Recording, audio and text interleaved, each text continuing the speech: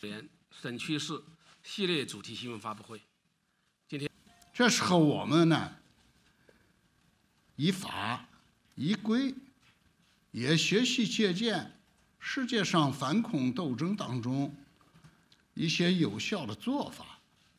我们对一些受感染的，呃，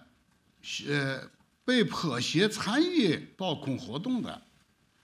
或者是严重受到宗教极端思想影响的一些人呢，我们认为应该最大限度的去挽救他。主席薛克莱提扎克尔先生。教育培训的人基本上绝大多数都到了回到回归社会以后，都呃可以说百分之九十以上的可能这这这都找到了自己觉得合适的、喜欢的工作，而且有了可观的收入，而且这些人现在成为社会的一些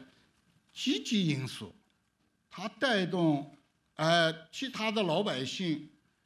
创业、就业、致富、奔小康，哎，取得了非常好的效果。